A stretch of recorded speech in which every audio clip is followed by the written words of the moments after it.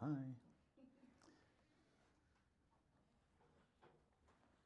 All right, well, let's, uh, let's pray and go before the Lord. Ask Him to help me, help you. Uh, Heavenly Father, we just come before you and we just thank you once again to be able to gather, to assemble together, to, to uh, bounce ideas off of each other and to dig into your word, Lord, uh, that we would um, not only have uh, riches in heaven, uh, uh, where, uh, where you go and lay up treasure for us as we uh, serve your people and, and do what you've called us to do, Lord. But may we have riches here, Lord, and, and have everything that you've called us to have. And uh, may we be diligent, may we work hard, may we be wise with what you give us, Lord, because it all comes down to yours. It's all yours. And uh, we are just stewards of it. May we uh, continue to uh, be good stewards and that we would glorify you in all that we have, all that we do, and all that we are. And we pray all this in Jesus' name. Amen. all right, so last week we went through the booklet, uh, one uh, pages uh, one through nine, talked about biblical money management, talked about steps to success, talked about debt and credit cards, uh, and how um, credit cards can kill you. Um, you know, they, financially they will kill you, and so uh, cash is always better to use as far as how much you're going to spend. Remember, if you use credit cards, you're going to spend 15 to 20 percent more because you're not putting out actual greenbacks. So um, it makes a difference. If you're disciplined and you stick to your budget, then you can use credit cards, and there's some advantage to that, right? Uh, because we get points back, we get uh, uh, some of the credit cards will put money right in your bank account when you use theirs. Uh, and then uh, also uh, it gives you a ledger of what you spent also, which you should, and then you can confirm that against your budget. so it's important, you know, that can be good. But what's our rule on credit cards? We pay it off when? Every month, right? and then we talked about debt you know, depending on how you look at debt and how uh, you feel when you uh, to pay off debt, I say go to the highest interest rate credit card and pay that one off first. Okay, I don't care how much is on it. May take you a year, may take you three months, it may take a year, it may take you two years to pay that credit card off. But go to the highest interest one and go. Now, Dave Ramsey from Financial Peace, where I get a lot of this information, uh, the website Financial Peace, he says go to the lowest amount and pay that one off first, because some people want to see that uh, see that target of paying that one off. So if you pay one off that's 300, then you go to the one that's 800, then you go to the one that's 1500. So, you know, or maybe 15,000. Uh, that's how he says to do it. Do it however it works for you. Um, but for me, it makes, I'm always thinking about the in game. How can I save more money, right? So go to the interest rate, right? Some interest rates are 29% on credit cards. So you're paying one third, you're paying a third of a dollar for every dollar you spend. Think about that. You're paying 30 cents to the credit card company for every dollar you spend that you don't pay off every month. So you're basically giving 30 cents away every time you spend a dollar.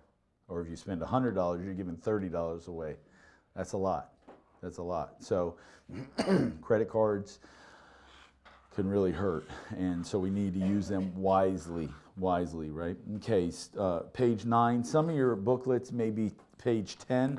If you got a brand new booklet tonight, it's page 10. It's called Wealth Building. so we talked about the $1,000 emergency fund, right? It's not an emergency if the car breaks down and you have $1,000 in that money market account getting 0.45%, right? It's getting no interest hardly, and that's okay because it's there for emergency. When the kid, uh, kids fall and break their arm, uh, you know, and you got to go to the doctor and it's $100 for the ER, uh, the copay or whatever it is for you, you're not, it's not an emergency other than mom being worried about your son, right? Or your daughter. um, but it, it is not a financial emergency because you had that thousand dollars. So that that's thousand dollars. Then we pay off our debt, and now we're in the wealth building. And the next step is to build. Look there on your page, uh, right under the wealth building. It says the next step is to build a disaster fund. This is increasing your emergency fund, the thousand dollar fund that you have, to three to six months of your expenses. How do we know how much that is? Anybody? How do we know how much three to six months of our expenses? We go to our budget, right? and we talked about that last week. You can make your budget. There's a budget sheet on the back of this. You can also uh, print one off of his Financial Peace. There's a lot of them out there. Um, so you can print one off of there. And so you can either do your uh, two to three months of uh, writing every single thing down that you, even if it's a 25 cent toll or whatever it is, you write every single thing down, or you just go off your budget and, uh, and make a budget right off the bat, or you can do that for two to three months, then make a budget. But you have to, you know, you have to cut some areas. We can't have everything. Um, I think there's a song out there that says, you know, you can't, you, you can't always get what you want, right? The Lord will give you what you need, but you always, you can't get always what you want. So we're going to make this three to six months of expenses. Let's start off with three months, okay?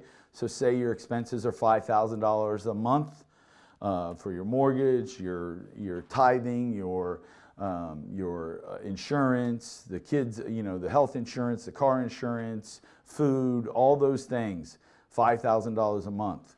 We need $15,000, all right? That is What's that in case? In case the breadwinner in the house, whether it's the husband or the wife, uh, falls, breaks an arm, breaks a leg, um, you know, can't work for three months. You know, it's it, it's it's a hardship, but it's not a panic. It's not a disaster. You're not going to be behind on your mortgage or on your rent. You're going to be thrown out of your house if you have three to six months of emergency fund, right? So it's bad. It's not good but it, it's not a disaster. You're not being thrown out. You're not, you know you're not getting a three-day notice on your door for your renter. You're not getting uh, a um, foreclosure. You know they're not starting proceedings for that. So uh, important. The kids are still eating. The wife's happy somewhat, right? And uh, and it is much better to do that. And then uh, again, like that thousand dollars. Now we're going to increase that up to whatever your three month uh, expenses are. So if you're if you live with mom and dad or you uh, say rent a room, you know your expenses are probably a lot less. So you may only need to bump that up to a couple grand, you know, but you do need to do that. That is part of your wealth building. Look there where it says tithing. Tithing. I can't even say the word. tithing. Obedience brings blessings. We see that all through um, the Bible. What's Malachi uh, 3 8 through 10 say? Will a man rob God? Yet you have robbed me. But you say, In what way have I robbed you? In tithes and offerings. You are cursed with a curse, for you have robbed me, even this whole nation. Verse 10 Bring all the tithes into the storehouse, that there may be food in my house. And try me now in this, says the Lord of hosts if I will not open up, or uh, if I will not open for you the windows of heaven and pour out for you such blessings that there will not be enough room to receive it. You know, this is, uh, this is a, a principle in God's Word that you see from the very beginning, Adam and Eve, all the way through. If you are willing to give to God and be obedient, he is going to bless you. All right? There's no prosperity gospel. We don't give money to get money. But God will bless you in ways that you just, it may not be a $100 bill. It may be giving you a car that doesn't break down. It may be, you know, kids that, I don't know, the, the shoes just keep on going. You know, whatever it is, the Lord will bless you. And we don't, it's all God's anyways. So we need to act like that you know, and we need to, uh, we, we would be very careful with that money, uh, you know, and, and, we should be very careful with that money. And so, um, but tithing is a blessing that I hope uh, each one of you uh, get the privilege to do. Okay? And I, I'm going to just go off track here a little bit. I started out, I remember at Calvary Chapel, Fort Lauderdale, uh, we had bucket in the back just like we have here. I remember starting off with throwing a five every once in a while in there, right? If, if it was a good message and it hit me, uh, all right, you know, because I was a heathen dog and wasn't even saved yet. And uh, so I'd throw five in there, you know, and as I kept going, uh, you, you, know, every once in a while, if it was a really good message and he was funny, I'd throw a 20 in there, you know? And then uh, I got saved and, and we started going to a Bible study and I started learning and hearing this word tithing and, you know, not me, bro. I ain't giving 10% of nothing to God, you know? I'm like, there is no way I'm doing that, you know? That's going to the motorcycle. I got a career, you know, I'm racing. I, you know, that's spark plugs and gas. You know, we're, we're, not, we're not giving that much to the church. You know, I started off slow, you know, uh, hard to get that money out of my hand, $25, you know, a week, uh, and just went from there. And then more and more, you know, as I became more obedient, I just saw continued blessing uh, that continue to come in. And so I've seen the principle work.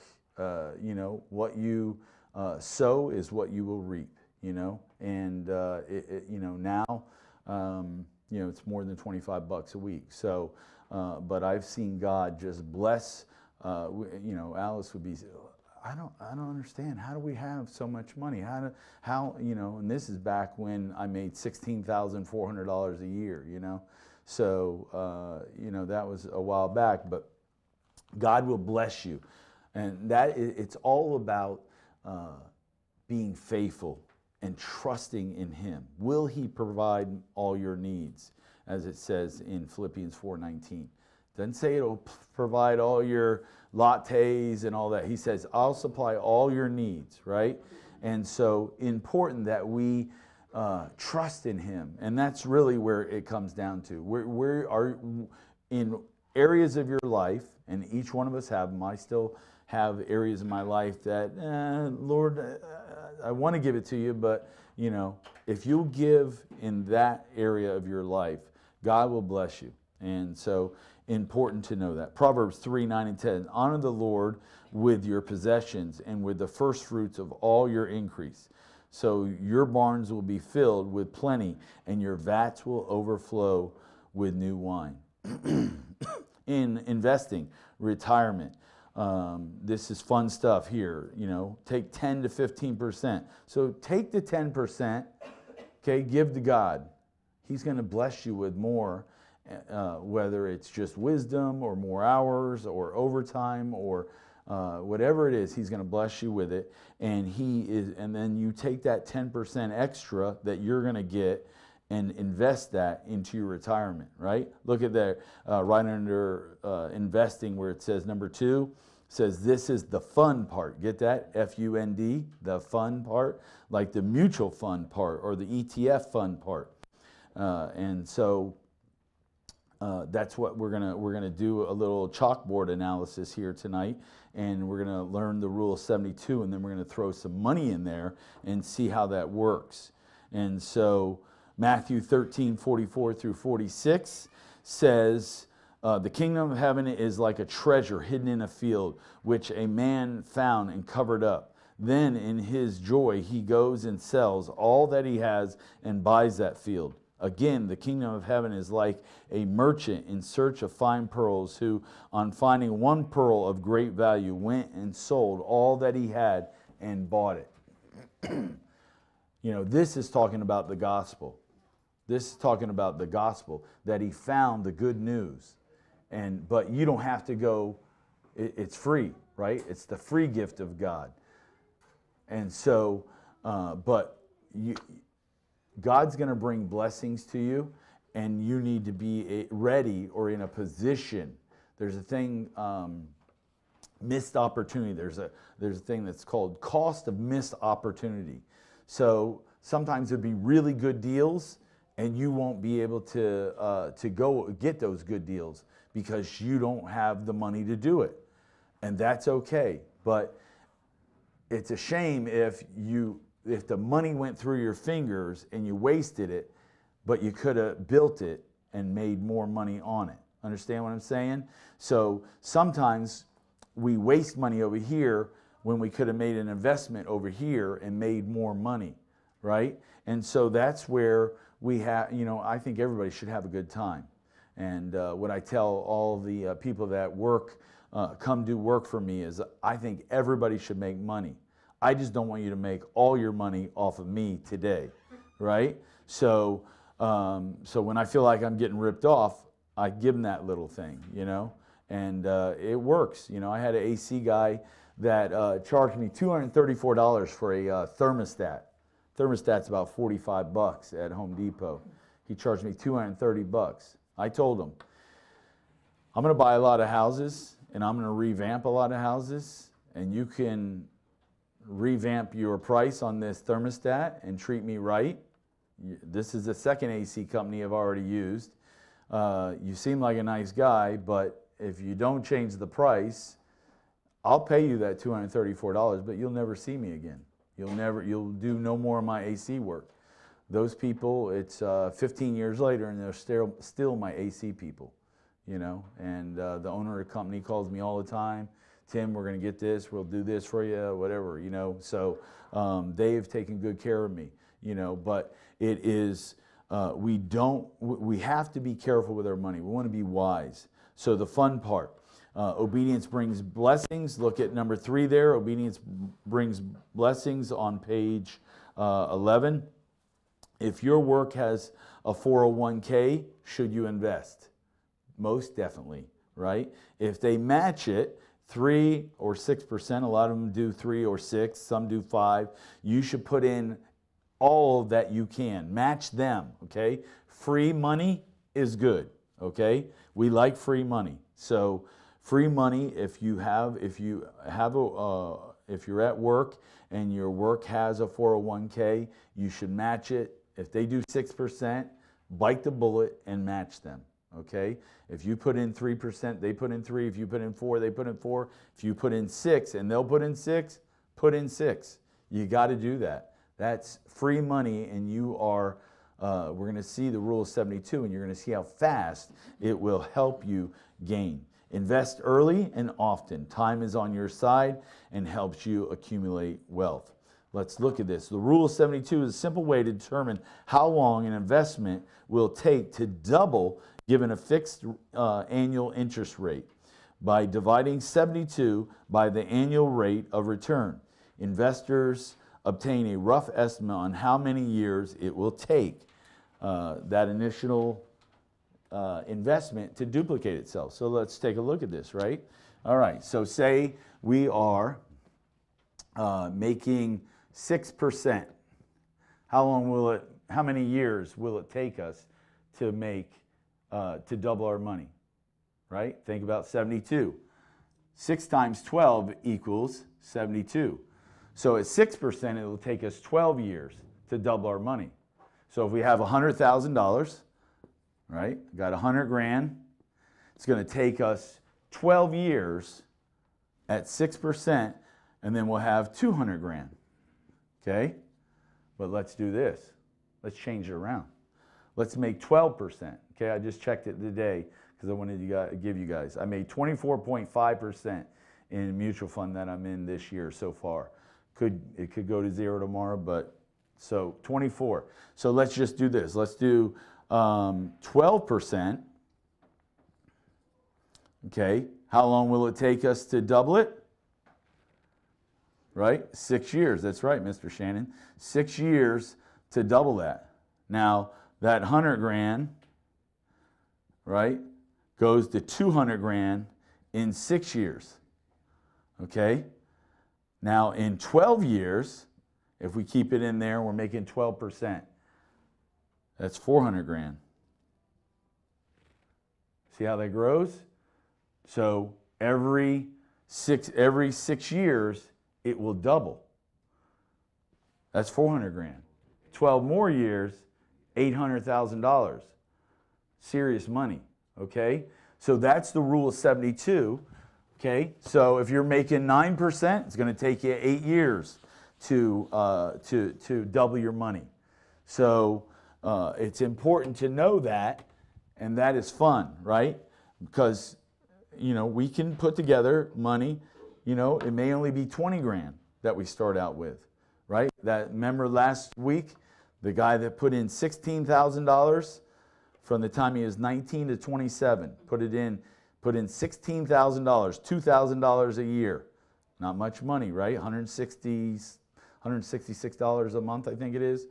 Um, so you put in $2,000 for eight years. Then you stop, but you leave it in there.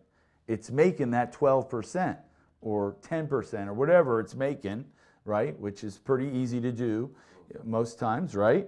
So um, you put that in there. He had at 65, I think it was, 65 or 70, he had $2.2 million just by putting $16,000 in when he was young, like DJ, like Tori, like a lot of you young people in here, right? So it's important to start young, but if you're a little bit more mature, then it's okay, right? Colonel Sanders started at 67 because he said Social Security is not enough money to live on. So he said, and he went to a thousand different people before somebody took his chicken recipe. So just because you're a little bit more mature doesn't mean you can't start, right? Uh, at 24% interest, if you're gaining in a mutual fund, that's three years to double your money. Okay? So if you had $100,000 in three years, you have 200,000. Right? In nine years, you'd have 600,000, I think it is. So, um, you know, it, it, can grow pretty quick, especially if you get a good spurt in the, um, in the stock market. It can grow relatively quick, but we're not looking for quick money. We're looking for steady. And uh, like that mutual fund that I'm in right now, I think it's a uh, growth in income. So it gets a dividend, right? And then there's all kinds of things. We're going to talk about that. So we talked about Colonel Sanders was 67 old, years old when he um, started pitching his idea for chicken. And he's famous, right? The Colonel. Compound interest uh, on page 12, compound interest is in addition of interest to the principal sum of the loan or deposit, or in other words, interest on top of interest. It is the resulting, the result of uh, reinvesting interest rather than paying it out. So you can either, in some stocks like AT&T pays a 6% dividend, uh, Verizon pays a 6% dividend. Um, so uh, if you just bought Verizon stock and it pays a five, I think a 5% dividend, um, it will double your money in what, uh, 14 years? 14 years, it would double your money.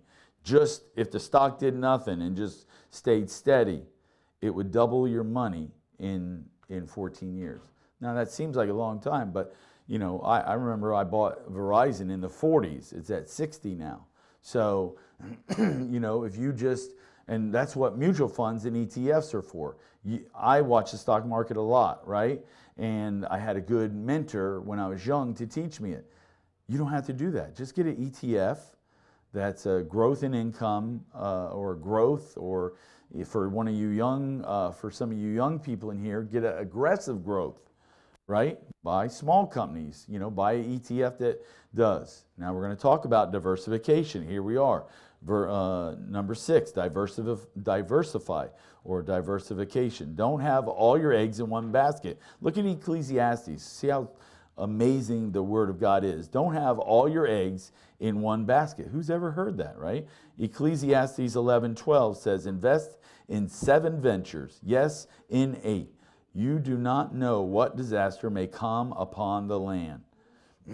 so it's important that you don't invest just in small stocks or just in big stocks. I suggest that you have three mutual funds and that one is growth in income, one can be growth, and one can be small stocks, right? Aggressive growth.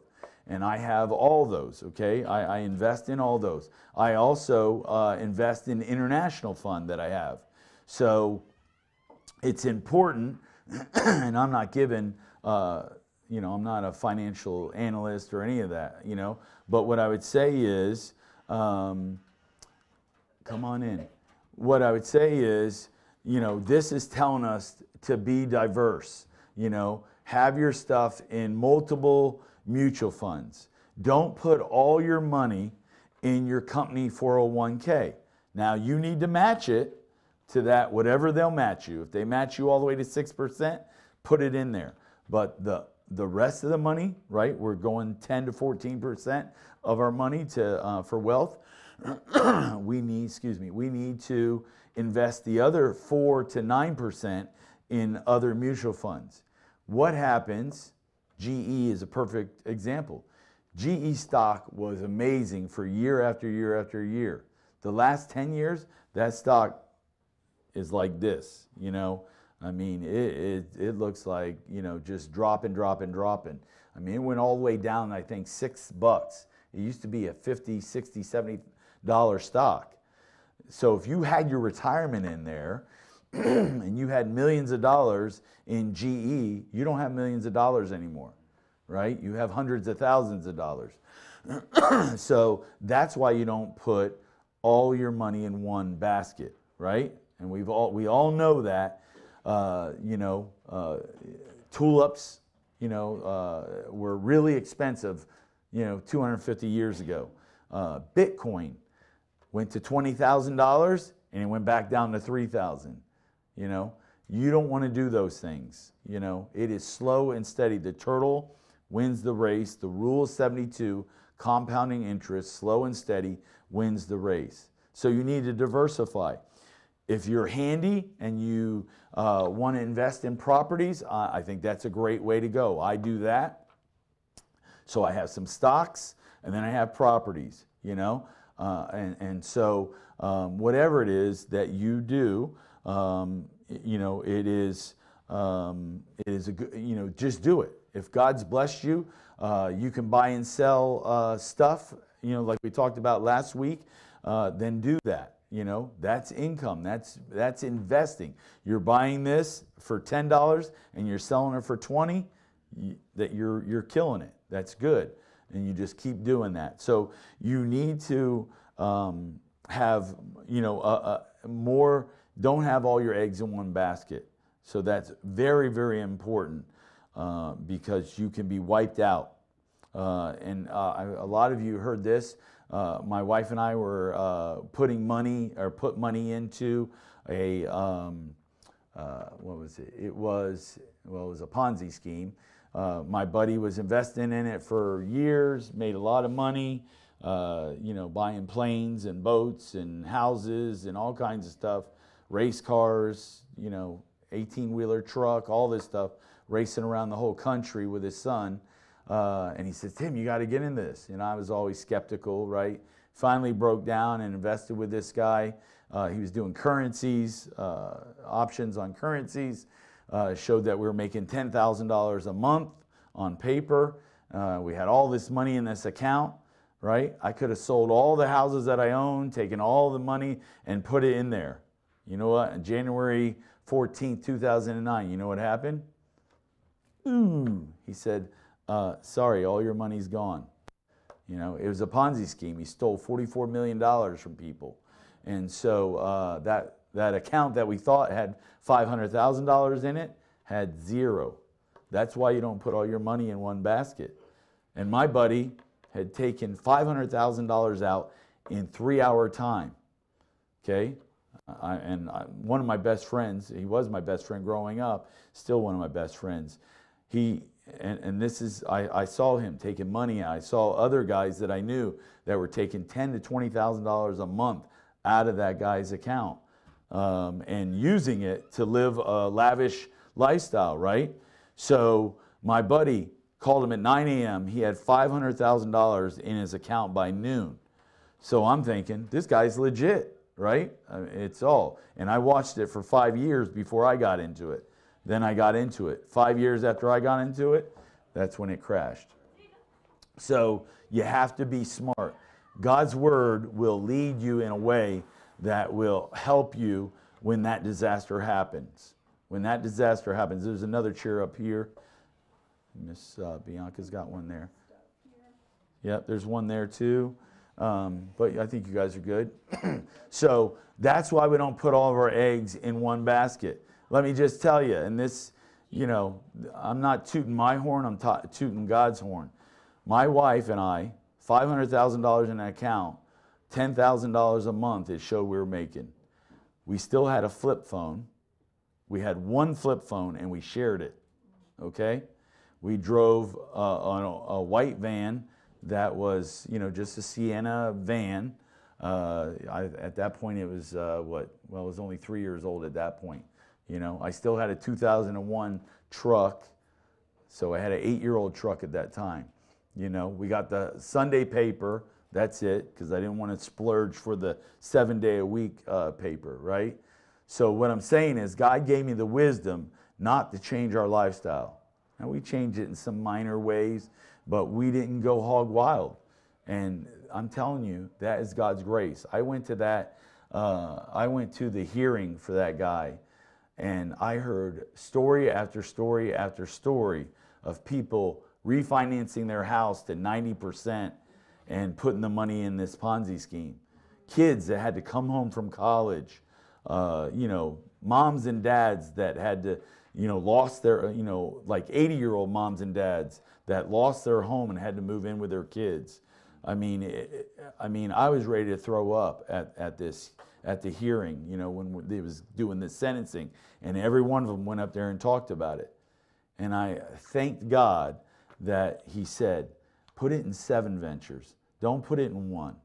Don't be stupid, right? Be smart. Put your money in a few different ventures and, and, and then go from there. Okay? So important. You gotta you you don't know what's coming tomorrow. Job didn't know it. I didn't know it, you know, and my wife, praise God, you know, she kept telling me, you know, we should take that the amount that we put in and take it out and just you know, I'm like, no, honey, come on. I know money. Come on, baby. You know, uh, you know, I should have listened to my wife. You know, so when your wife has that feeling, take the money out, put it in the bank account, earning, you know, a little bit of interest. Don't risk it all. Um, two to four mutual funds is the way to go. Other ways to invest: buy a home, buy rental, buy a home. Okay, I think we should all have the the goal to buy a home. Okay, unless you move a lot or you know your job makes you like some of these military people maybe doesn't make sense if you're only going to be in a place three years. But I think we should all strive to buy a home. Okay, and so because that's an investment, and we're going to learn here later that we want to pay that off, right? We want to pay our home off, and so uh, that's tax-free money. Listen, when you buy a home and uh, you're a husband and wife and you sell that home after you pay it off and you've lived in it for 20, 30 years and you sell that or keep it, either way, but if you sell it, the government gives you no, you pay no tax up to $500,000 profit. Okay? So you can buy it for 100 grand, fix it up, live in it for 20 years, sell it for 600 grand and pay zero taxes no capital gains, zero taxes. And that is a way to make money, you know. And then you can buy a smaller home and live out the rest of your life, you know, or buy a rental home and make money off of that. so uh, good to buy a rental home. I, I, have rental homes and it is awesome. It's a great way to minister to people. It is a great way to bless people. Um, it can be a headache uh, but in 30 years, I've had two evictions. So, um, you know, I had one house, 735 holes in the wall. That's the nightmare, you know. But you know what? It happened once in 30 years, 35 years. God's blessed me, you know. So um, that's one of the ones I evicted. And so he wasn't too happy with me, so he put a lot of holes in the wall. So, but they make patch, and we can fix that, you know. But, uh, you know, that house was a blessing. And uh, so, two. So it's not a nightmare. Not everybody's a nightmare. There's a lot of great people out there. Uh, I got to tell you, there, are people that are just will bless your socks off, even as a renter, you know. And uh, I, ha- I have text message after text message saying, "Oh, thank you for being so gracious," you know. I have somebody that's behind on rent right now. You know, almost every month I have one. But, you know, you deal with it and the Lord provides and you just keep going on. And they're grateful. I, I make my people feel like that they'd be betraying a friend if they betrayed me because I try to treat them. Uh, Ramon knows. Ramon's been to a few of the houses with me. And uh, so, um, you know, Cedric is all excited that Ramon had a baby. So he knows Ramon, he, you know, because we painted uh, Mr. Cedric's house. So, um, so, you know, buying collectibles. Listen, if you know uh, comic books really good, or baseball cards, or stamps, or coins, then do that. You can make money off of that also. So that's some. Go to estate sales. You know, if you know coins, then you have an advantage. You know, but don't you know? Be careful. You're not going to spend all your money, right? If you got 20 grand in the bank, you're not going to take the whole 20 grand with you, right? So you a little bit. Use other gifts and talents to invest, right? It's not only money, but tutoring, mentoring, start a business. What do we have to think about when we start a business? Got to count the cost, right? You don't want to start a business with no money and not have a plan. Now, if God calls you to do that business and you, He's going to give you the plan, okay? And so you go from there. Uh, one, like I said, you see there in G where it says um, pay off your home. That's one of the greatest things you can do, and it will help you um, to make more money because when you don't have that $1,500 payment every month, guess what? You're going to be able to invest more, you're going to be able to give more, right? So that's really a cool thing. We have somebody here in the front row where their house is paid off, right? So that's uh, that's a fun thing when you can pay off your house and all you have to worry about is just the maintenance on it or uh, just the taxes and the insurance makes it a lot easier. And so when you sell that home, all that money's coming to you, right? Average home in Orange Park is about $200,000 right now. So uh, think about that. That's just the average. There's a lot that are a lot more, and there's some that's uh, a little bit less. So, all right, step four here it says on page, uh, where are we at? Page 13 on my booklet. Maybe if you have a brand new booklet, yeah, is on 13 also. So, uh, mortgages, there's good debt and there's bad debt. Good debt is mortgage debt. If you have a mortgage debt and you're only paying 30 to 30, about 30% of your income, that's good. Don't get into these mortgages where you got to put in, uh, you know, where you're at 50% of your uh, pay that you get every uh, month. You're, you're going to go into foreclosure and you're going to lose it. So the good rule of thumb is about a third of your pay. Good debt is a mortgage on a house.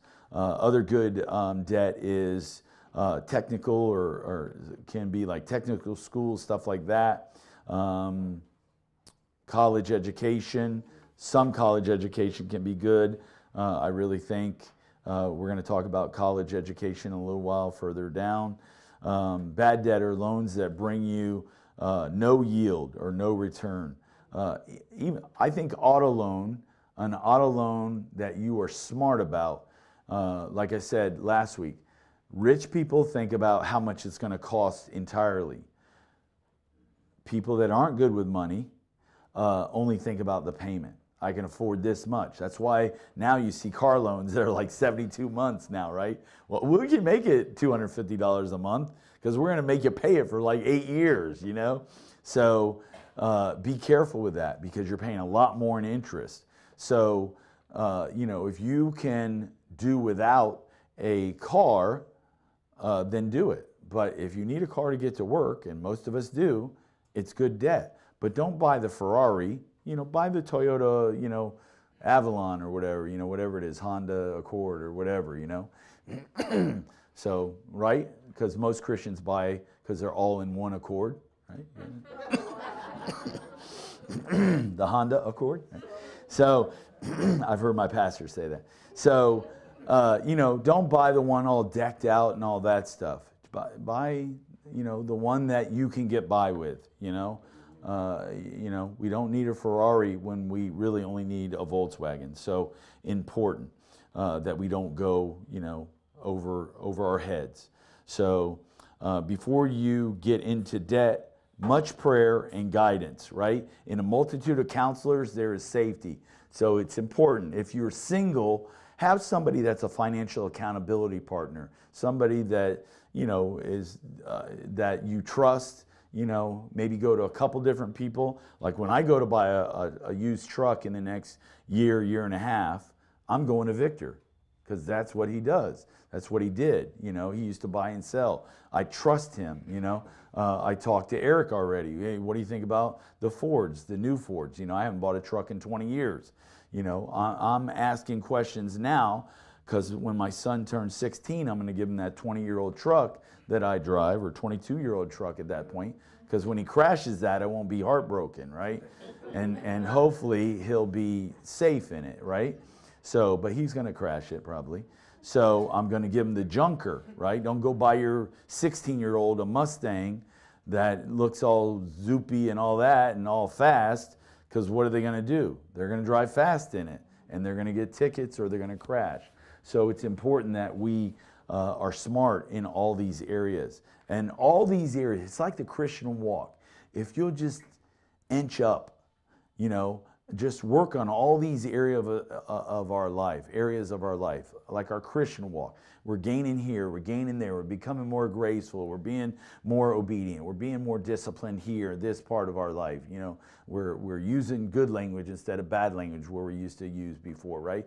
All those things add up to a sanctified life, right? Uh, a life that's glorifying God. Same thing in finances. It, it's gaining on it little by little by little. And then you look back and you go, wow, I can't believe I didn't, you know, I, I, I don't even want that anymore. Or Christmas comes around, you're like, eh, I'll buy my kids something. I really, you know, I don't really need anything, you know. Uh, my anniversary was last week, and I bought my wife a $17 bouquet of roses, right? We've been married 26 years. I don't need to send her flowers that are $100, you know, and all this with a vase. I got a vase at home. I can go to uh, I can go to Costco and buy 24 for $17, and they're just as beautiful, you know? And so, um, you know, and she was just as excited as if I would have had somebody deliver them and pay $35 for delivery charge and $100 for the flowers. So um, be smart, you know? We, we don't, you know, I asked her to go out to dinner. Uh, I wanted her to take her to this new restaurant we heard somebody talking about. She's like, no, you know, we're, you know, we're doing dinner on Saturday night with some friends and, you know, Thanksgiving's coming up. Now, I don't know, maybe next month, you know. It's like, man, content, you know. I just, you know, I love that. And that's, you know, you're gaining on it little by little by little. And by the next thing you know, you have money in the bank and you're like, wow, I'm reaching my goals. Number seven, mortgages. Getting a mortgage. If you're gonna uh, if you're gonna get a mortgage, there's FHA, there's VA, and there's conventional. Um, VA costs a little bit more money sometimes because they have uh, uh, fees that go with it. But uh, some of the military people, you it, there's a little bit of an advantage, but they are a little bit more costly. FHA, you only have to put three percent down.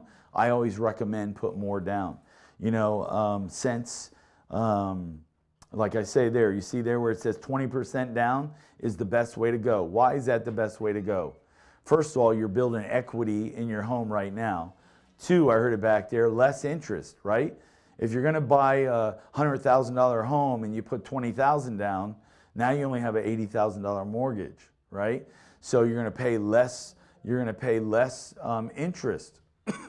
and a uh, great thing is, especially since 2009, the um, insurance. Um, I can't even think of what it's. Uh, can't think of the name of the insurance, but it's insurance in case you default. Okay, um, and it is about 150 to 200 dollars a month on a loan. So when you put less than 20% down, uh, you pay that 150 to 200 dollars a month for that insurance. Now you can't that the the bank makes you get that and you can't stop it. You used to be able if you got a good deal and you waited 2 years and you had an appraisal and you could show that you had 20% uh, equity in the home, they would let you take it off. Now it's the life of the loan. not allowed to take it off. And so you can get all the appraisals you want, want, and they won't take it off. So you pay that for the life of a loan. So think about that. If you get a 30, huh? PMI? PMI, yeah. Private mortgage insurance. Thank you. Private mortgage insurance. And so, like I said, you used to be able to take that off. Now you can't take it off. And it's the life of the loan. So think about that.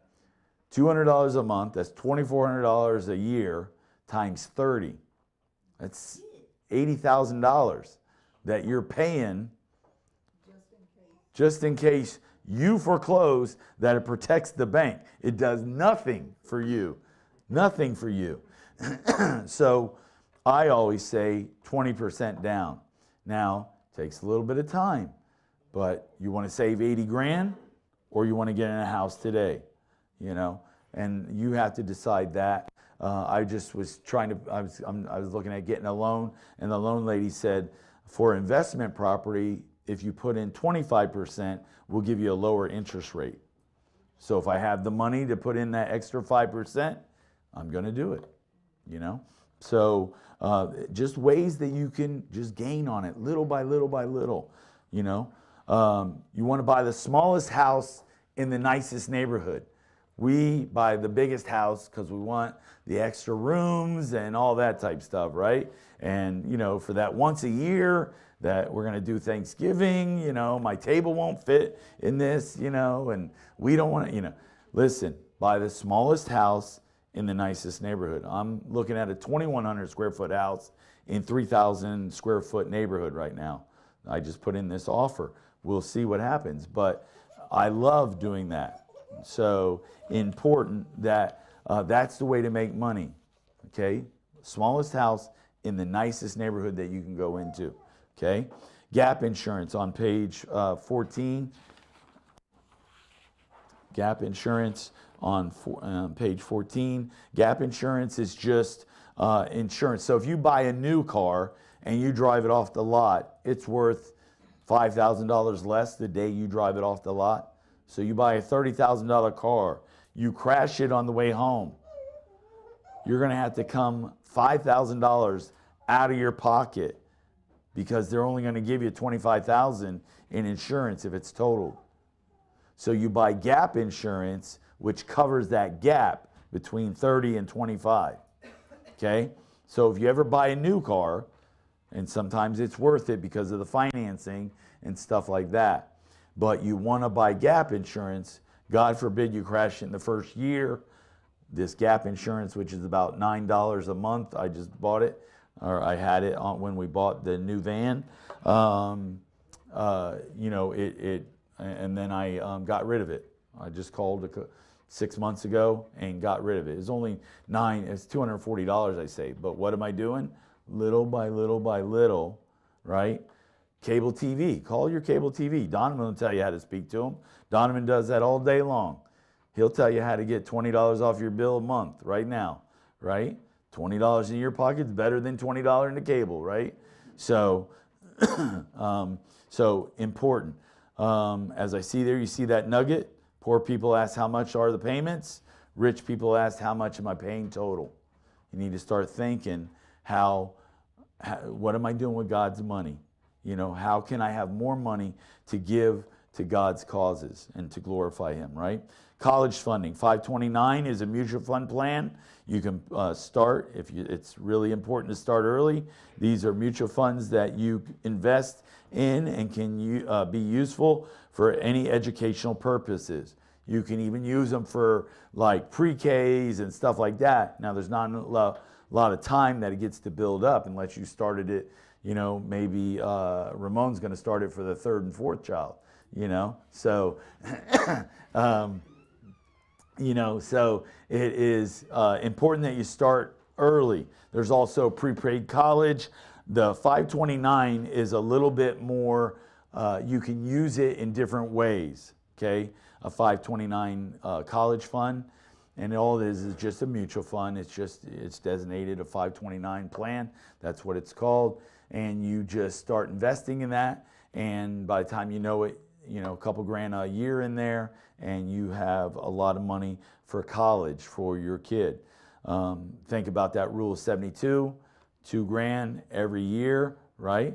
By the time he's 18 and he goes to college, that's 36,000. Now, if you've been making 10, 12%, maybe you got lucky, blessed, and uh, you made 20% one year, that adds up, you know, 50, 60, 70,000 dollars in there, right? So, uh, and it's more versatile because you can go across state lines with it. None of that matters. If you get the Florida prepaid or wherever you're at, um, I have the Florida prepaid for my son.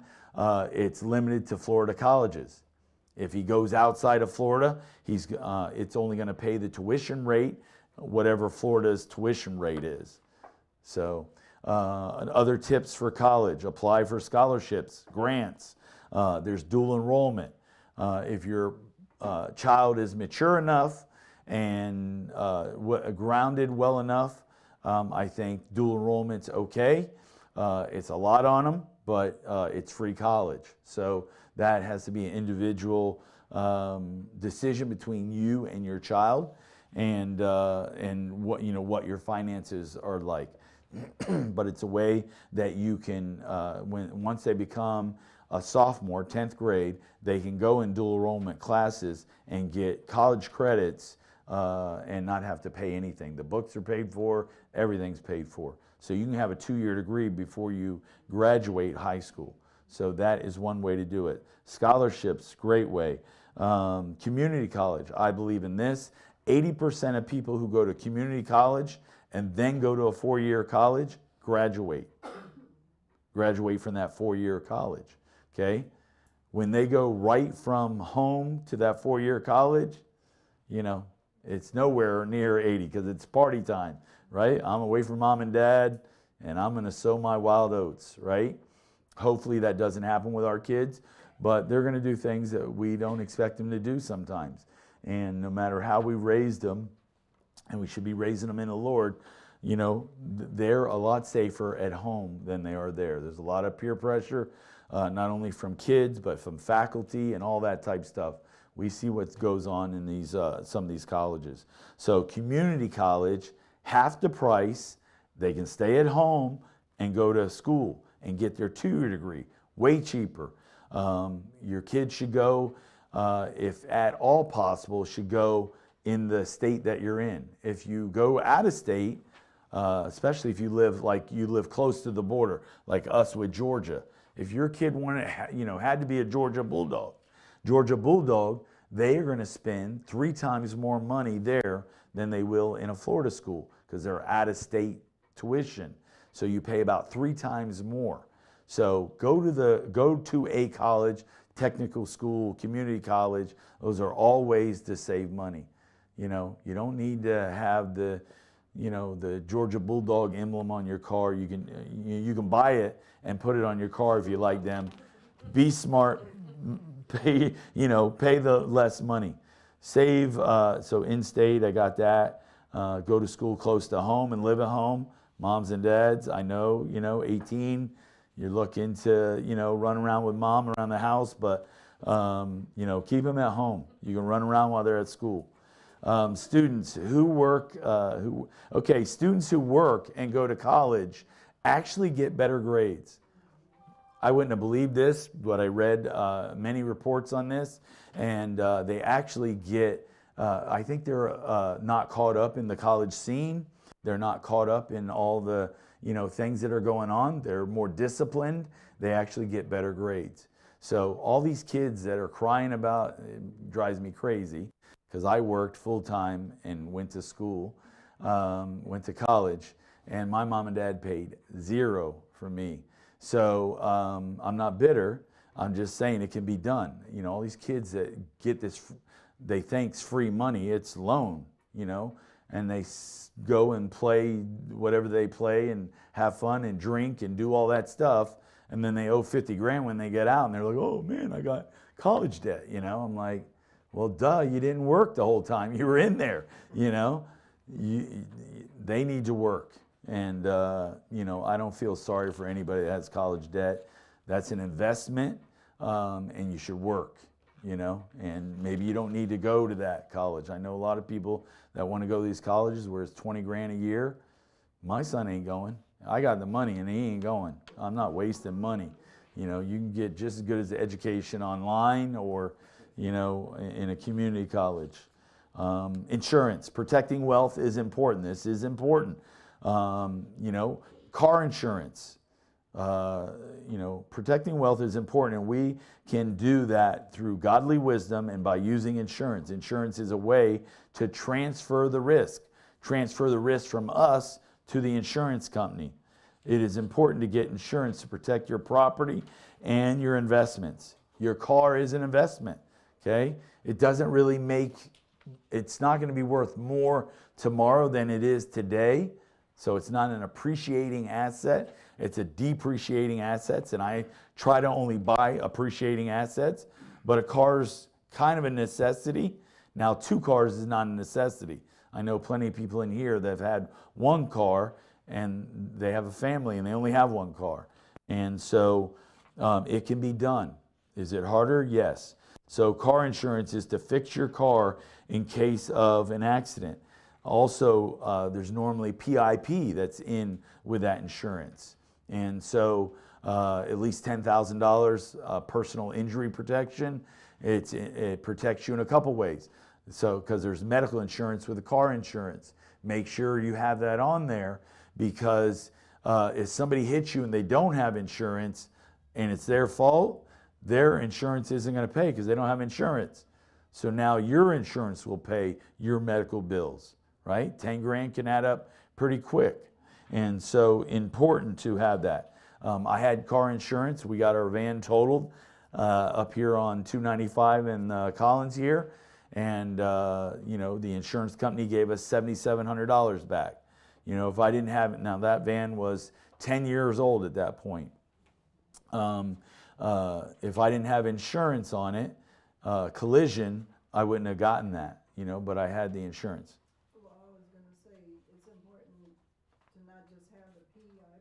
Yep. You need to have full coverage. That's right. Because if you have, you might be insured for your medical, but your car might be worth two or three thousand dollars. But if you don't have collision on there, you won't get that money, so you will have lost. That's right. Because a lot of insurance will sell you the cheap thing, you know. That's right. You won't be able to replace your vehicle.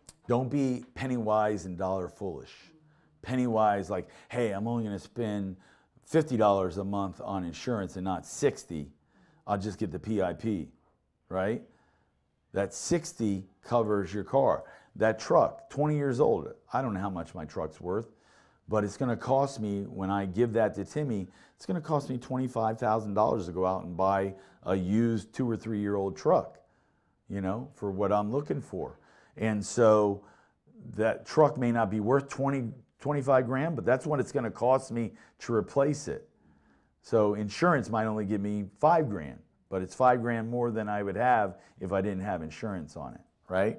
So we have to be smart about these things. And car insurance can help people from stop suing you personally. They uh, sue the insurance company and not you. Okay? Homeowners insurance. You know, homeowners insurance up here is a breeze. I got to tell you, my homeowner's insurance down in Fort Lauderdale, $3,000 per house down there. Okay. The, the cheapest one's $3,000. Okay. Up here, 866 bucks, I think I pay at my house. You should have it. I've been to plenty of fires, and man, it's devastating to see somebody lose all their pictures and clothes and all that stuff.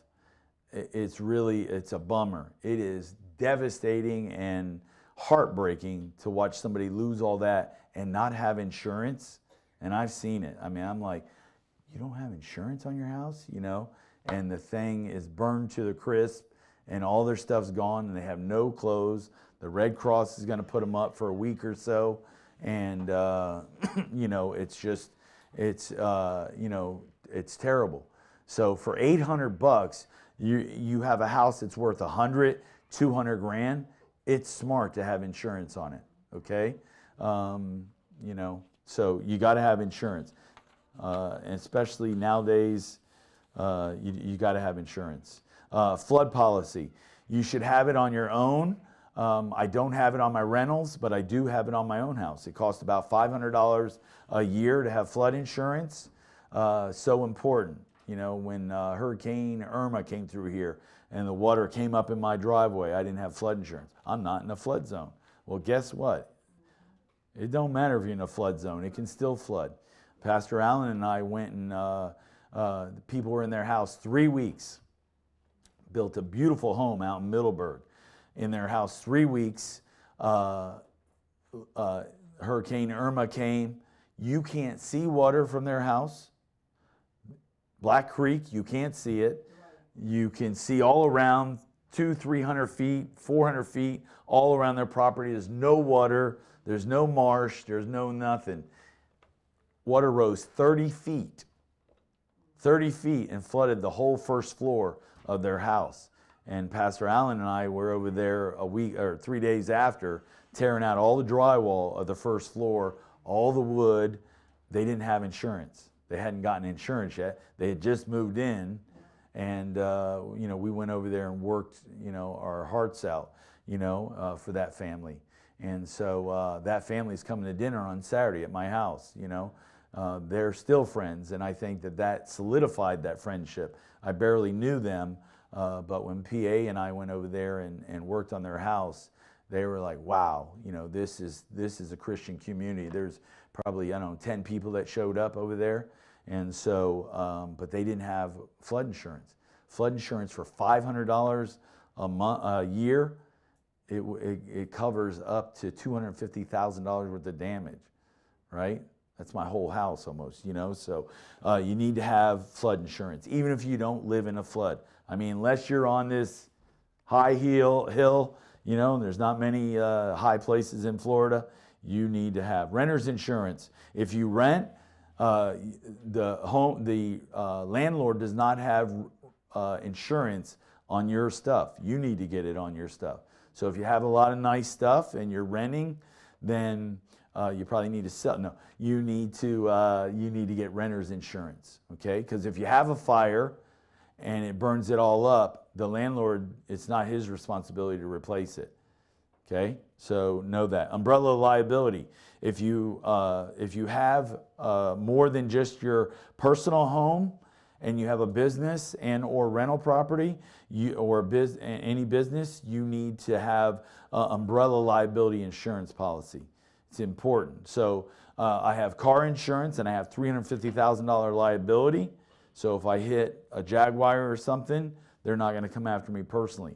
If they do, I have a million dollar liability policy. So one of my renters falls down the stairs and ends up suing me, I have a million dollars of liability insurance that says uh, they have to eat up that million dollars for they get to me personally. Okay? So if you have money, if you have a lot of money in a 401k or in stocks, um, that type stuff, this, uh, it costs me, uh, I think, $741 a year to have a million dollar liability uh, insurance policy. So I have that. It covers all my properties, my uh, two vehicles, my home, everything.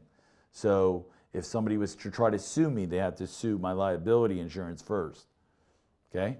So important. That's how you uh, keep and hold on to your money. That's wisdom, right? And I only know that because other people have taught me this. Okay? Long term disability. Important that we have long term disability. If you break a leg, you're at work, okay? This is like AFLAC and other insurances. Um, long term disability. If you're out of work for three months, you need that long term disability to kick in. That pays you money, okay? And that pays your bills. So that's important.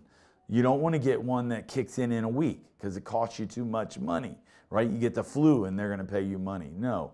You want one that's, you know, three months. That's why we have our three months to six months emergency fund, you know, of money so that we have a long term disability that kicks in at 60 or 90 days when we're out of work and starts paying our bills, right? Pays food, pays a lot of things.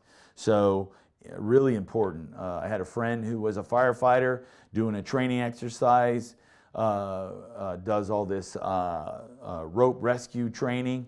Uh, he went out of the window, thought he was hooked on, fell uh, six, uh, four stories. I think he fell four stories. Uh, you know, he was out of work for a long time.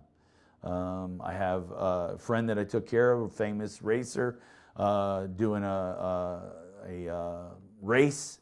Car broke in half at 250 miles an hour, half track. Uh, cut off his left arm and paralyzed him from the chest down.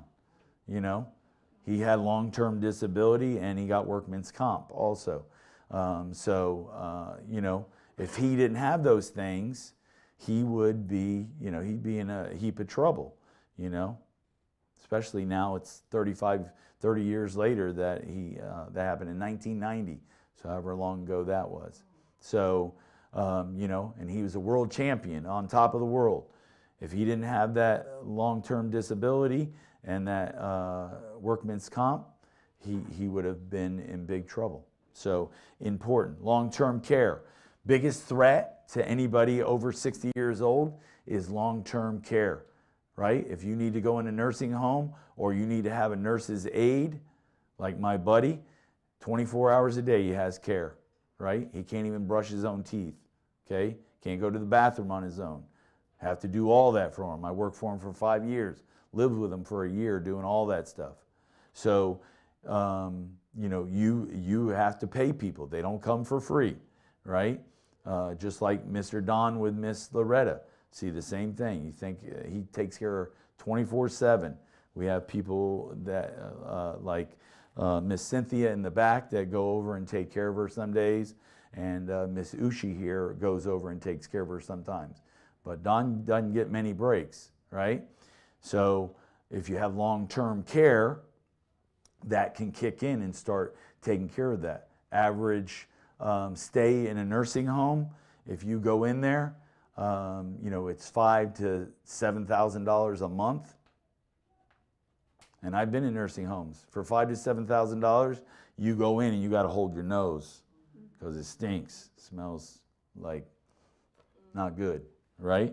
So uh, you walk in there at three o'clock in the morning, they'll knock you down almost. Wow. So you need long-term care, okay?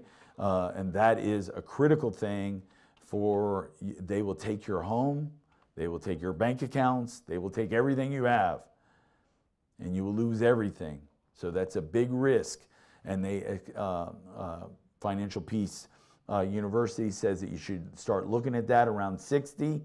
If you're really healthy, maybe 65. Uh, I've looked at it because I just learned about it, and uh, it scares me a little bit. So um, it's about $2,000 a year to get that insurance for when you're 60.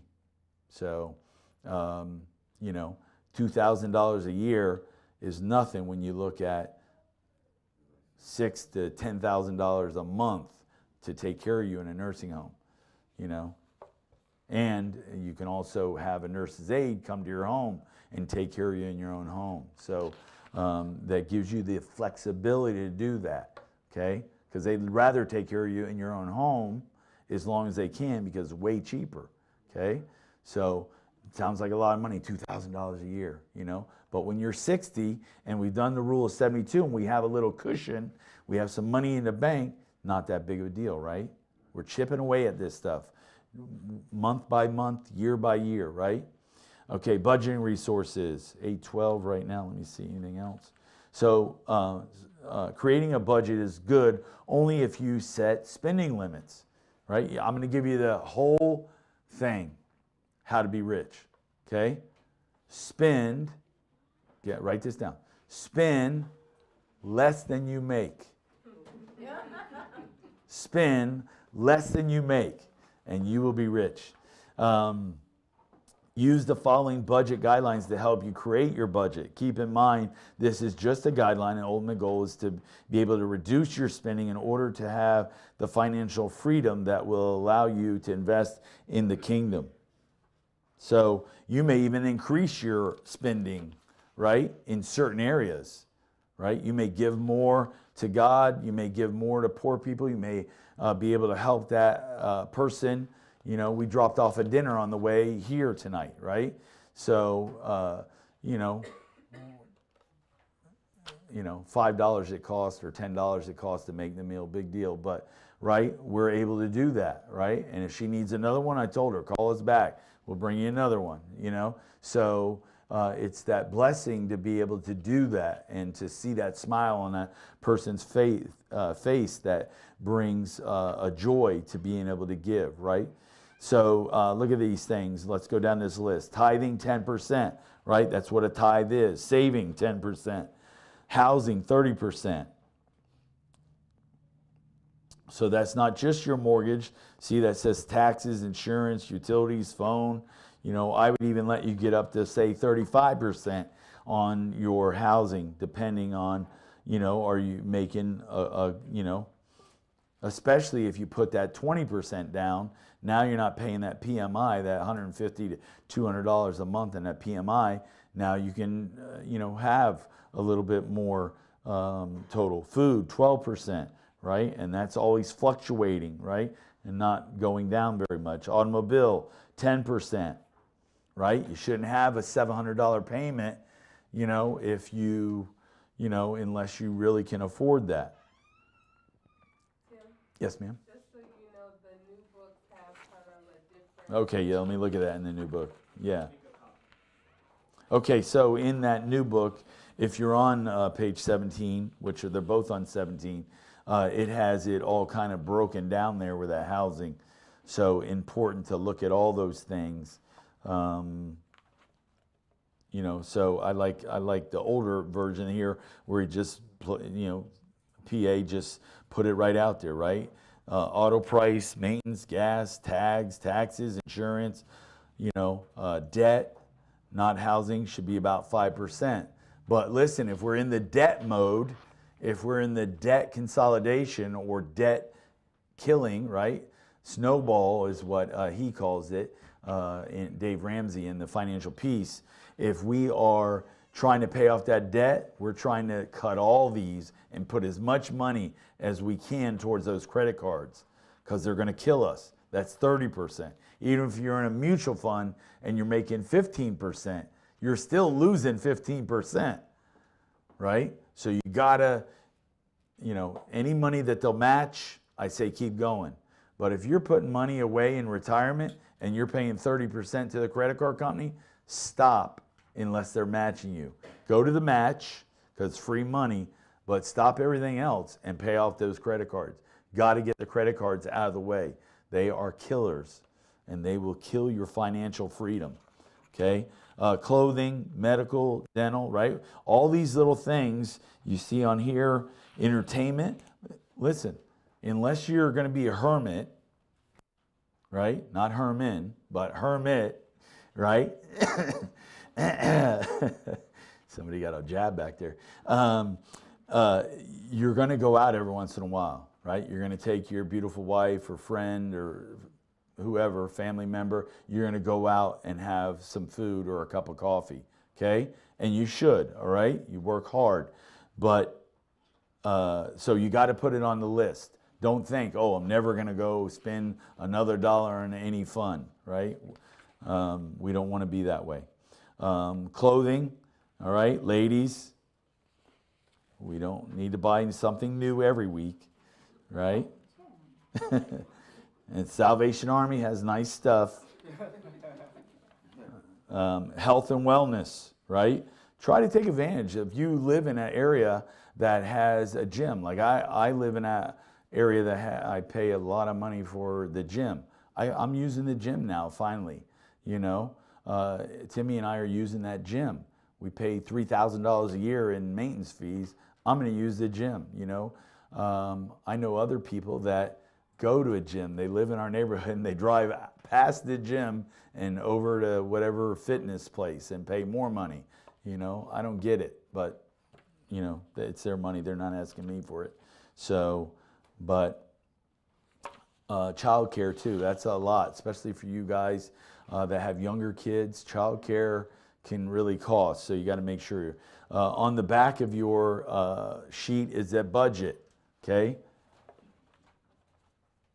So important, and I want you to be thinking about questions that you're going to give me here. But grossly monthly, uh, gross monthly income. Hopefully, your gross monthly income is not gross. Okay? uh, so, uh, hopefully, it's you know good. So, your monthly income goes there at the top salary, interest, dividends, other income. Something I was going to say about dividends. If you have dividends, try to reinvest them and buy more stock. Don't take that dividend and go spend it, you know, on whatever your pleasure is, right? Reinvest it if you can. And, you know, that 5% at Verizon, it's going to buy another share once a year. It's going to buy the third share in two years. It's going to, you know, and you're going to start building more and more and more. And uh, I've seen that. You know, uh, they even have dividend reinvestment plans. They're called drips, and that's what that's what we're trying to do. We're trying to drip our way to an ocean of money, okay, and an ocean of contentment, right? Not only in our Christian walk, but in our finances. So we're letting that five percent drip into our account, and then taking and, then keeping that in our account and buying more stock and more stock and more stock. That's how you do it because dividends pay are good, right? Try to keep your money in a money market, uh, not just in. Uh, once you get a little bit of money, you can take that ten to fifteen thousand dollars or that three to six months emergency fund, put it in a money market fund. That's easy to get to, but you still get a half a percent, one percent, you know. So that's good. Uh, then you have to look at uh, going down this sheet, tithing, giving all right? So important. Uh, taxes. And, and I say that's important not, you know, because I'm an elder at the church. I say that because you're going to be blessed more than you ever thought, asked, or imagined. And when you give, you have a whole new perspective on money, on God, and you're showing uh, the trust that you have, right? The, the lady with the two mites put her money in there, right? And, uh, and so she trusted that God was going to take care of her. Uh, taxes. So there's your spendable income, monthly living expenses, houses, housing, um, you know, all this uh, sanitation. You got to think about that, right? My water bill, $80 a month at my house. $80 a month for garbage and water. So I don't know what your guys is, but don't forget to put that in there. You know, gas, I pay $600 for gas uh, twice a year at my house because I have a gas oven, gas hot water heater. Nice. Yeah. So um, you know, don't forget that. You know, that's twelve. Well, that's hundred dollars a month I pay in uh, in gas. So you know, put it all down so that you're not like, oh man, you know, and that's okay. But that's why uh, when Alice and I met 30 years ago and we're married 26 years ago. Um, that's why we, we put everything down, everything we spent. Buy a candy bar, put it down. 25 cent toll, put it down. Everything. Three months, right? In a notebook. And then we could see, man, we spend a lot of money here. Well, uh, you know, oh man, I forgot to put the water in the budget. Uh, we didn't, you know, we didn't have it there. So now I knew exactly what we spent. And then we shaved off a few things. Do, can we bring our lunch? instead of uh, spending five bucks a day at Subway or wherever you know we're going to be, or ten dollars a day, right? Food, you know, uh, try to get a handle on that. You know, try to get those BOGOs, those coupons, you know, all those things. My wife clips coupons. She's a great BOGO shopper, and uh, her and Gigi have fun uh, with that, and they get those coupons. $10 off. Publix has about once a month uh, $10 off gas cards, right? I love gas cards because I don't have to put my credit card in that thing. Me trying to figure out is it a skimmer or is it not? You know, is this one that's been messed with? I put that uh, I put that um, gas card in there, Mobil or RaceTrac, whatever on Wawa, you know, and I put it. I don't have to. All they, you know, it's a fifty dollar card. I don't really care. You know, you can buy a $25 card, but at Publix, if you buy $50 worth of groceries, right? 50, yeah, $50 worth of groceries, you can buy a $50 gas card for 40 bucks. Okay, it gives you a $10 coupon. So think about it. I go to, I don't even go to, well, I go to Costco, but I don't fill up there. Because if I spend, if the gas is 10 cents cheaper there, and I get 20 gallons, that's $2. I can save $10 at Publix on a gas card. I'm saving $8 more, getting $8 more gas. That takes me 50 miles more. You know what I'm saying? That you creep on it little by little by little, just like our Christian walk, right? Last week we would get mad at that. This week, you know, we're not mad, you know, may not be happy still, right? You know, when trials come, last month we didn't have joy. This month the trial comes, you're like, no problem, Lord. You know, we're inching it day by day. And finances, it's no different. It's just like the Christian walk. Insurance, insurance I talked about. Uh, disabilities, insurance, uh, long-term disability is important. Um, take care of your dental. You know, a lot of people don't look at that, but it affects your health very badly. Uh, you're more susceptible to heart attacks and strokes when you have periodontal disease. So you need to go to the dentist once a year and take care of that because I know it can be expensive, but we, if we budget for it, it's not that expensive. So eh, very important uh, for our health also. Debts, entertainment, recreation, you know, we need to look at all those things, clothing, savings, medical, dental, um, uh, medical. I was paying for you that, uh, especially in, in this environment, um, I was paying $60 a day when I got out of the fire department. 31 years of service. The commissioners, they do six years, they get it for free. I served 31 years and you still pay $1,860 a day. I was paying $60 a day, uh, so $1,823 a month, I think it was. I was paying $60 a day in insurance for three healthy people, pretty much. Um, we went to we did that for about two years, and I said, "Oh, we got you know." And I was checking it out. I was asking around. There's uh, Christian sharing plans out there. Samaritan's Purse, Health uh, Christian Health Ministries, and uh, I can't think of the other one. Medi-Share. Yeah, that's on the radio a lot. So there's Christian sharing things out there. Now we pay uh, for unlimited, right? There is no limit. Um, uh, we pay $538 a month okay, with Samaritan's Purse. And uh, my wife got a cancer thing on her leg. It was a $1,200 to take off and take care of. They paid the whole thing. Now, it doesn't pay for like uh, anything under $300, it doesn't pay for. But we don't have to worry about that because we have our emergency fund, right? So we don't have to worry. We got $1,000 in the bank. So we don't have to worry. So I save $1,300 a month by going with Samaritan's Purse than I did with my own insurance um, through Sunrise Fire Rescue. And so, um, you know, and, and, so, you know, if you have one with your work and it's really good and you're happy with it and all that, then stay with it. But there are ways out there to save money. Um, I'm not saying it's, you know, I haven't used it a lot. We've only had it for a couple years, but like I said, in the first three months that we got it, she got a, a cancer thing on her leg and they had to do surgery on it and uh, they covered the whole thing. And so, uh, you know, it's something to think about with healthcare costs the way they are. Um, let's see, anything else? You ladies, those cosmetics, you know. Listen, God made you all beautiful already. You don't even need to worry about it. Uh, so just look at all that stuff. Don't forget about, um, you know, that, that bottom row there, beauty, barber, laundry, cleaners, allowances. Uh, make sure your kids that you're giving them allowance, okay? They got certain chores around there, but give them allowance because they need to know how to use money now, right? I know it's hard, but you know what? Tell them no.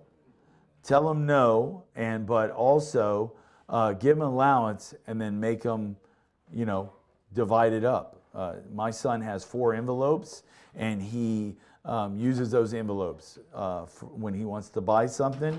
Uh, matter of fact, today he went and got a haircut. I said, We're using your credit card today, pal. So I got him a credit card, 14 years old. He's got his own credit card, right? So now, why, why do I have to pay for it? Well, I'm not going to make you pay for it, but I want you to see when you get a haircut every three months or whatever, whenever you get it, it costs money, right? So when it comes in, you're going to see that it's it'll be on there. You know, you know all these things. These games don't appear out of the blue. They cost money. You know, and so uh, with my foster kids, it was so amazing.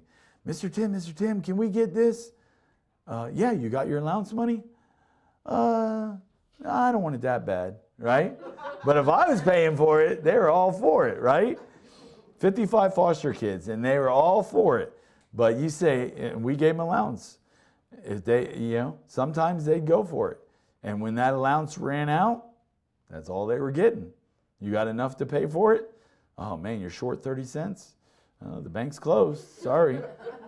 you know? Because listen, if I let them borrow it from me, what are they going to do when they're 18, when they're 24, when they're 30? They're going to want to borrow it for the 30,000 because they only got 26, right? So we got to teach them. Let them fail now. Let them learn how to use money now when they're young, and they won't fail when they're they're older. They'll be much more attuned. So, so important, so important. Um, any questions? Questions on any of these things tonight? Insurances, college, Rule 72. Anything? Anybody? Can I borrow some money? Yes. Can you give me some? Uh, yeah, you can borrow some money. Let me show you that Rule 72. It'll cost you. It'll cost you. Any questions? Diversify, diversify, diversify, right? If you have a business, don't put all your money in your business, right? Get it up and running, but have other things because the way things are changing today, you you know, uh, Netflix is a great thing, right? Who in here has Netflix? You guys are wasting your money. All right, no. Um, you know, Netflix may be out of business in five years. I know you think it's hard to believe. I remember when I said Winn Dixie would be close to being out of business. I remember when uh, Blockbuster, right? Kmart and Sears, when they merged, I said it's like two sick dogs. You know, they're like they're on their last leg, right? So, yeah, they're they're just about done. You know, so you think that your business will be there, but I, I think, mark my words, five years, Netflix will be gone, because all these other people are doing what they're doing now. Disney just came out with a thing, you know, Hulu and all these different things. Roku, what's it called? Roku, Roku. You know, you can tell I don't have it. Um, so yeah, all these things, but I think I think Netflix will be gone in five years. You know, because it's going to be they're going to be overrun because they don't they don't have they don't have they don't have content, right? They can't make. They got to buy, and they spend billions of dollars on content. Well, guess what? Disney just pulled all their content off of Netflix because they're putting it on their own, right? So you, that's why you gotta ha- you gotta diversify. That is the key uh, to all to to investing is to diversify, diversify, diversify. Okay, amen. No other questions? So with the college fund, if the kid doesn't go to college, what happens with that money? Yeah, great with a 529. Um, you get to you can just use it, okay, and uh, you have to pay tax on it. Uh, the good thing is you only have to pay, uh, and with uh, 529, you can uh, the money that you use, you use the principal, and you don't have to pay tax on it. Once you pay, once you get any more than the principal that you put in there, then you have to pay tax on it. So also with a prepaid, you get back, and I think they pay you like three or four percent interest if your kid doesn't go to college or something happens and they don't use the college. So important. Foster kids can, uh, I think, go to school for free up to 24 years old. They get free college. So uh, if anybody has a foster kid, free college, push them towards that. So adopted kids too. That's right. So uh, important to know that. Um, something else I was going to say. Oh, catch-up clause for us more mature people in here. Uh, you can put up to seven thousand dollars in an IRA um, to catch up. So, if, say uh, you got a lot of money back in your taxes come February, March, you know, fill your IRA first, then go out and buy, you know, whatever you want to buy. But fill that IRA. You can do a catch-up thing especially if you're 50 years old or older, you can invest $7,000 uh, in that uh, IRA a year. So um, you get to, you can catch up. You know, you can put more in there than you normally would be able to. So uh, I think it's only $1,000 more than uh, you normally can put $6,000 in there. So, and if your company matches you, what do you do? You put the full match in, right? If it's $2,000, put $2,000 in there. If it's 4,000, put 4,000. I mean, you do everything you can. Uh, I mean, eat peanut butter and jelly if you have to. That's free money, and that will help you be rich. Any other questions? Um, another question, so say you have more than one child and you did a college fund for one, and that child doesn't go to college, can you Yes. transfer that over to the Yep. You can. Yep. Yep. Yeah. And check all those things, but yes, you can. Um, you know, you have to, you know, like uh, they just raised that catch-up clause uh, this year for that, um, for the seven thousand dollars. So, and so yeah. Um, any other questions? I just called uh, my retirement thing today because I have one account that has a 401k and one that has a 457. I wasn't sure when I went on there and tried to, I was looking at it, I wasn't sure if I could cash out that 401k, not cash it out, but take it out of the mutual fund that it's in, um, you know, and wait for a bit, a little pullback here that we're going to get in the stock market and then reinvest it. Um, so I wasn't sure. So I called them today and asked them, you know, so take advantage, you know, if your company has a 401k plan, call those people and ask them questions. You know, they're smart. They went to school. You know, just double check it. You know, you want to ask two or three people and make sure. You know, then get on the internet and do a little bit of work and make sure. So I called them today to make sure I could do that because I don't want to get hit with taxes. You know, if I took it out of, and I'm not taking it out, I'm just selling that mutual fund and put it into a money market, and then I'm going to wait for the pullback that's coming. So, um, may come, may not come, but normally the market will pull back. Anything else? Yes, sir. For the mortgages in number seven, you said buy the smallest house in the best neighborhood. Yes, sir. Is that just because when you own it and it, you get the interest? Appreciates more. So that $200,000 house in the $300,000 neighborhood, because you bought the smaller model, um, will uh, appreciate more than the other ones. Plus, uh, houses that are smaller square footage sell for more per square foot. So, like a three thousand dollar house, I mean, three thousand square foot house um, may sell for hundred dollars a square foot. A two thousand square foot house is going to sell for 110 120 dollars a square foot. Because once you get over 2,500, 3,000 square feet, it really doesn't matter. So you don't get any more for that lot more square footage, you know? So um, that's why I try to stay under 3,000 square foot houses. I'm even trying to get rid of two story houses where I just buy rental homes that are one story, 2,500 square foot or less. And so I'm trying to buy in the best neighborhood, smaller house, better neighborhood. So that's important for resale, but also, um, you know, for the appreciate. Well, that, that's what I'm looking for, the appreciation. So nicest house, ni- smallest house in the nicest neighborhood. Don't go to a neighborhood where you can get a 3,000 square foot house. Go to a 2,000 square foot house. Make your kids bunk together, and uh, and it'll teach them to share, and and then you'll have more appreciation. And when they're gone, you know, you you don't have that big house and all the bills that come with a big house, right? So they'll, you know, the years, the days are long, but the years are short. You know, my son, five years to be out of the house, going to college, doing his thing, right? Hopefully, get married to a godly woman. So, any other questions? Yeah, I had a question.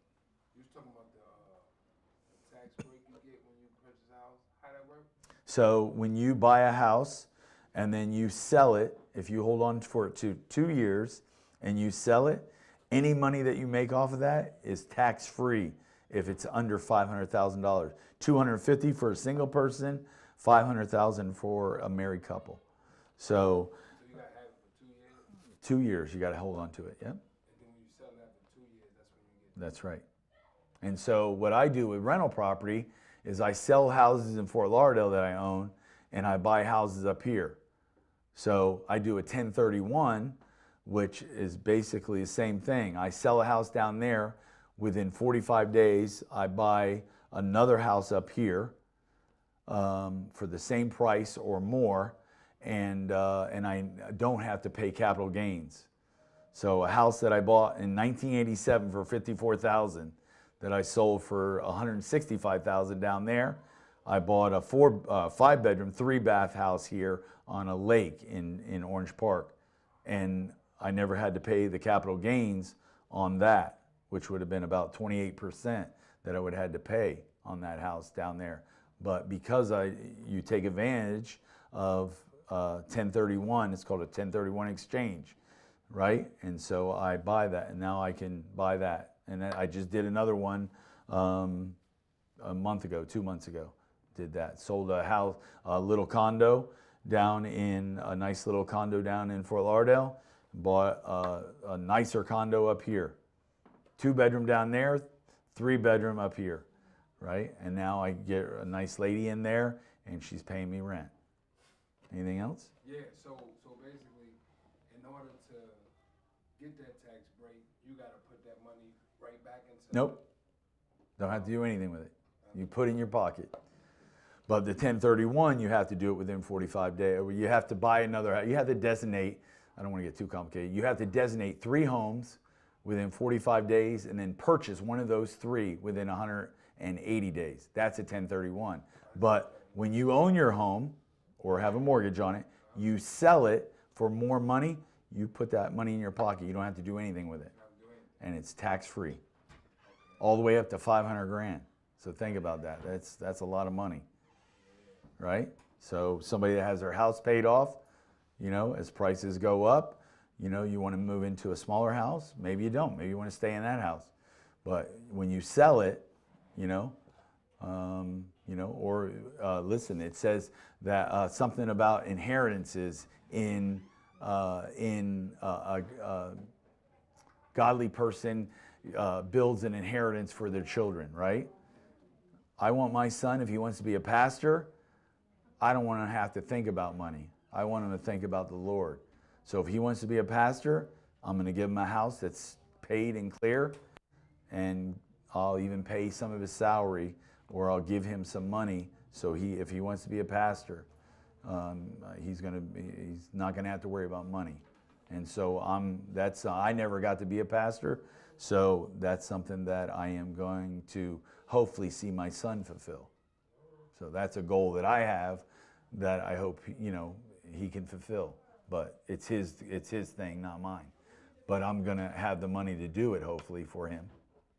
So um, yeah, so you know it is that you got to take advantage. You know we we we uh, give a hard time to rich people that take advantage of these taxes. But man, that's that's how you get rich. That's how you stay rich is by taking advantage of these legal tax things, right? I don't want to pay more taxes than what I have to. You know, I think I'm better with my money than they are with my money, right? So, right? So, you know, take advantage of these things, you know, and that's why you want to buy now and sell later, you know, buy low, sell high, you know. But a home is a home, you know, and it's a home because you live in it and because you make it a home and because you have God at the center of your life, you know, and God's going to bless that. And so when you sell that home, that money goes in your pocket, you know. Maybe you want to be a missionary later in life. Maybe you want to be evangelist. You have an evangelist heart, you know. So I could see that with you, you know. I didn't have that advantage with my mom and dad, you know, but I'm hoping that Timmy will have that. And so any inheritance that we can give our kids, the best one that we can do is raise them in the Lord, you know. I hear a, uh, I hear a teenager talk about a stepdad, uh, how uh, amazing is and what a change he's made in that son's life, you know. Man sitting in this room, other young man sitting out there, you know. And I see that and I hear that that's an inheritance. That's better than money, you know. I want to give my son both. I want to give him the Lord and I want to set him up to do whatever he wants to do, You know, better be of the Lord though, or he ain't getting nothing. And so let me give. I'm uh, real quick. Wills. A will is important. Wills and uh, trust are important, but a will is a necessity. If you have kids, you got to have a will because where your where's your kid going?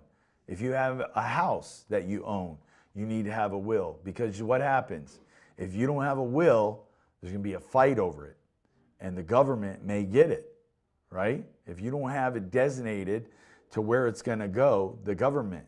Let me tell you, probate can cost so if it's a, million dollar estate, it can cost up to sixty thousand dollars to settle that probate, right? And what do lawyers do? They drag it out and they suck that money, right? Because they get paid $250 an hour and they charge you up to 6% of whatever your estate is. And it drags on for months, can take six months for the average um, probate to go through. So if you have a will, that stuff goes a lot quicker. Whoever's going to take care of your kids, it should be designated in there. Living will, uh, if you were to uh, be in Loretta's position and have a terrible accident and be on life support, what do you want to do? Do you want to pull the plug or do you want to continue to be uh, resuscitated? You know, uh, those are all important things that we should plan out now so that our kids don't have to anguish over these decisions. And so, uh, you know, a trust uh, will keep it out of probate. If you have a, a trust, not a living trust, but a trust, uh, we have all of our properties in a trust. So when Alice and I die, none of that will be public. It's all private, and that will and that trust um, will go into. Uh, it goes immediately into that trust. The bank accounts immediately go. So nobody knows how much money there is or how many houses or any of that stuff. And none of it's public. When you die and without a will, it's all public and they put it in the newspaper and all that stuff. So, and it's all fought over. Have intestate succession on who gets it. too. What's that? Intestate succession, Mm-hmm. Yep. that it goes to like spouse, children, if there's no will, there's usually laws that decide. There are some laws. gets it first. And that's that's what probate's for. That's right. So, uh, say you are married and you die, then your husband or wife gets it, right? But if there's no husband or wife, no spouse, then uh, probably kids, and then uh, you know goes on. And we see that. You know, they're siblings, and then you got siblings fighting. I want it, he want, uh, you know, all this stuff. Then you get the great aunt and the uncles and everybody that's involved, right? They all come out of the woodwork and they're fighting and everybody hates everybody by the end of it. And now we spent half of that money. Now you got to sell that house because you don't have enough money to pay, pay the probate lawyer. Uh, you know, uh, estate tax, same thing. Uh, the guy that owned the Miami Dolphins, when he died, why he didn't have proper paperwork? His estate, uh, they taxed him at 45%. So the Miami Dolphins, he had a $150 million tax bill. He had to sell the Miami Dolphins, or he didn't. He was dead. Joe Robbie, right? He, his kids had to sell it because um, because they didn't have enough money to pay for the Miami Dolphins, right? They sold it at uh, dollars, you know, cents on the dollar, and uh, Wayne Huizinga bought them. You know, they've never been the same since that since they were sold. That's an estate tax. Right now, you don't have to worry about that until five million dollars. But you invent something or you make some internet thing, you'll have five million dollars, right? So it's not that hard to make nowadays. You know, I know you guys think I'm crazy, but you come up with a great idea. God gives you something and you go with it. Five million dollars could come like that. You know, you see these 20 somethings, you know, invent some Facebook. You know, it's a 90 billion dollar company. You know, guy started in his dorm room. You know, ain't no smarter than you guys. Got the same brain. You know, God gave you know, all gave us a brain. So don't don't shortchange yourself. You know, um, so wills are important. You know, really important. costs a little bit of money to do. You can actually do it online. There's some online stuff, you know, set it up. Even if you got to write it on notebook paper and have some friends sign it and put it and make a copy of it and give it to somebody that you trust. Actually, um, Alan and Gigi, Pastor Alan is my uh, second executor. My accountant's my first one. Uh, the Lairds would take Timmy, or uh, the Victors would take Timmy if uh, we were to die. I don't want him with my heathen dog family. You know, I want him with Christians, and so that's more important to me than him being with with with uh, with my family members that that don't go to church. It's more important that he be with people that uh, love him, that love him, but also that are going to teach him in the ways of Christ. So if not, if I was to die without a will, if Alice and I were to die without a will, which we have one, they, he would go to one of my family members that don't want nothing to do with Christ. You know, I don't want that. And so, you know, I spent money to make sure that that's clarified. So important. So especially you that have kids, think it's, you know, I know it's, you know, going to cost you, well, it won't cost you that much if you do it online or if you do it on notebook paper, you know, have a couple people sign it, it'll hold up in court. Date it, sign it, video it, you know, put it on a, uh, on a thumb drive and, you know, keep it protected, but give it to a couple close friends that you trust. And, you know, when, if God forbid you were to die, you know, your kids are protected. Important, important. What, what's more valuable than that, than our kids, right? That's planning, okay? Let's pray. Heavenly Father, we just come before you and thank you so much for your word and how it teaches us and how it gives us wisdom and that, uh, that you've taught us to, to what we sow, we will reap, Lord. And uh, if we sow goodness and we sow um, good habits and discipline, that we will uh, reap a harvest, Lord. And uh, I just thank you for showing me this and giving me um, uh, your word and helping me to, to be able to disseminate this information. And uh, we just thank you for those that are here. We ask that this information would sink into our minds and our hearts and that we would go and be doers of your word and uh, doers of uh, the 2,350 verses that are in the Bible about money and stewardship and, and, the, and, and investing. And so may we, uh, may we start with that first principle of, of giving to you and, uh, and sowing and reaping. And so we thank you and praise you. In Jesus' name we pray. Amen. Amen.